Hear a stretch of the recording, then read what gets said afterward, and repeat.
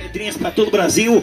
Graças a Deus, sou liberado hoje, meu guitarrista. Foi liberado para passar o Natal com a família. Já está de volta para a banda. A gente era cinco, morreu três de fome e nós dois está no mesmo caminho, viu? E olha só, quem quiser entrar na banda, quiser morrer, pode vir para não morrer nenhum dos dois, viu? Vamos lá, banda, vai lá, vai lá guitarrista. Banda Del Quinoel, é ao vivo.